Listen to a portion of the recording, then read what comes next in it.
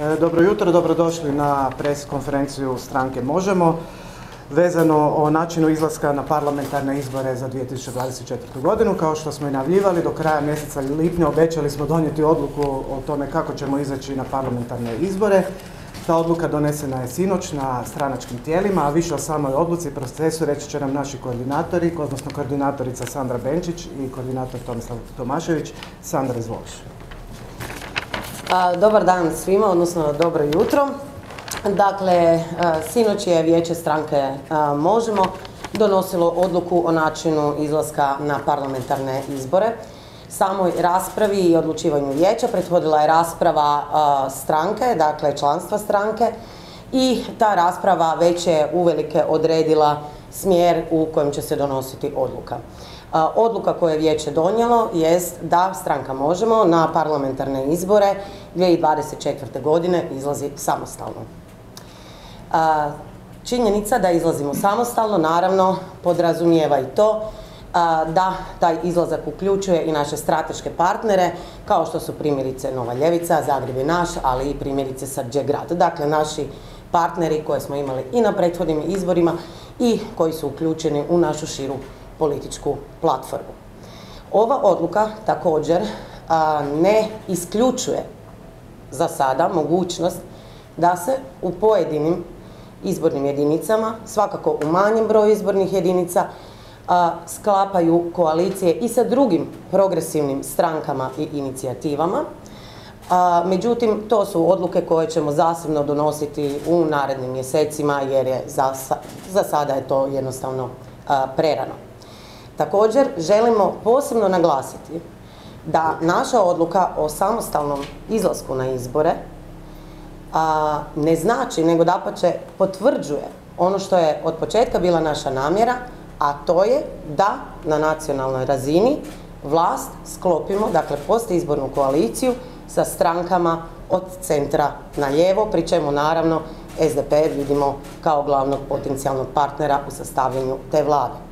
Ova odluka donesena je na temelju dakle stavova i razmišljanja naših članova i posebno članova vijeća da je upravo ovaj način izlaska na izbore onaj koji će mobilizirati najveći broj birača, koji će zapravo na jedan pošten i nama autentičan način a, omogućiti biračima da biraju one lijeve opcije za koje su se opredijelili i da će na taj način zapravo omogućiti da i mi kao stranka, ali i čitava ljevica dobije najveći mogući broj mandata na ovim izborima i tada kroz postizborne koalicije sruši HDZ-ovu vlast.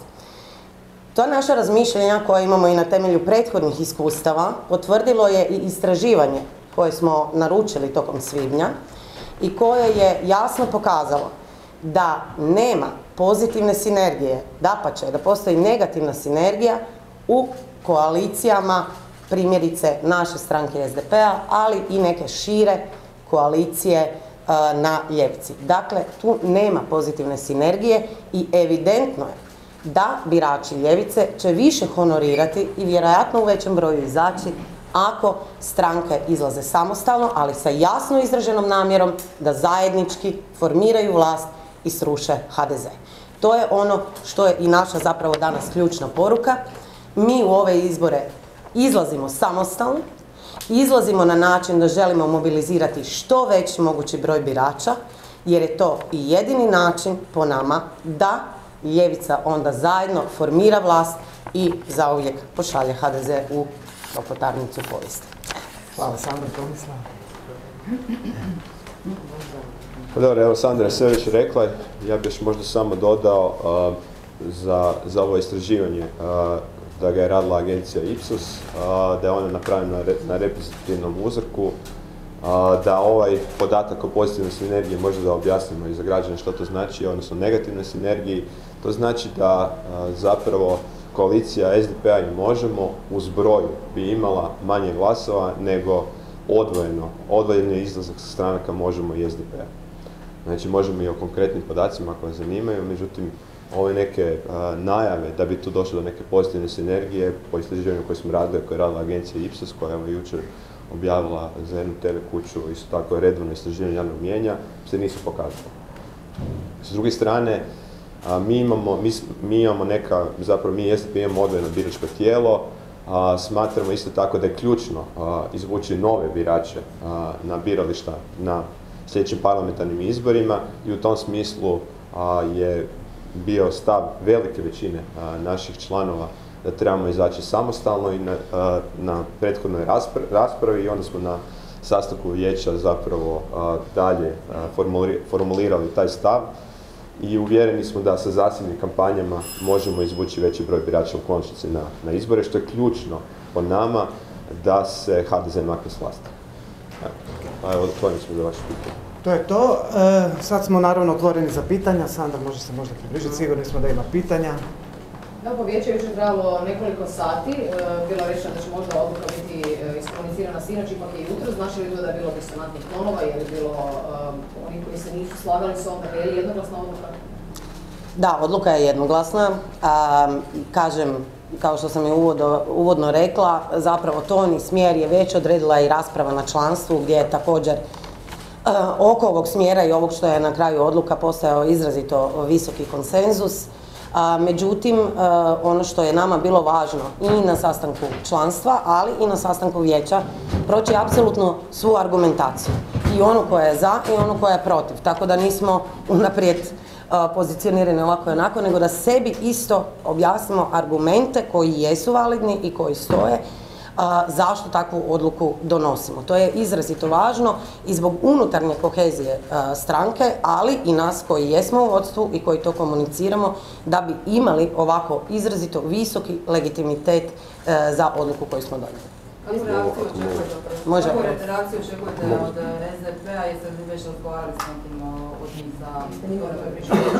Da, što se tiče samo da još uh, kažem da je u raspravi koja je prethodila sastanku vijeća stranke sudjelovalo nekih dvjestotinjak najaktivnijih članova, a da na sastanku vijeća je sudjelovalo 56 od 58 ukupnog broja članova vijeća Možemo! I da sastanak je trajao satima zato što naravno da je bilo disonantnih tonova i naravno su bili različiti stavovi oko iako je sastanak a, članstva već suzio zapravo te opcije u smislu da, da velika većina želi da na izbore izađemo samostalno, što onda kaže se pokazalo i kao jedan od instrumenta i kroz istraživanje javnog mijenja, da nema te pozitivne sinergije. A, međutim, na sastanku vijeća smo imali različite stavove oko same zapravo taktike i tu smo jednostavno htjeli se usuglasiti da bi na kraju sa najvećim legitimitetom donijeli ovu vrlo bitnu odluku. A očekujete li možda za izbore e, veći broj e, mlađih ili starijih birača da će pristupiti Pa vas glasati? očekujemo prije svega kao ipak, eh, ja bih rekao, i dalje nova politička opcija da možemo izvući najviše novih birača na izbore i mislim da je to ključno. Da znači da, da je ključno da se bazen ukupnih birača ljevice poveća kako bi se zapravo makro HDZ s vlasti.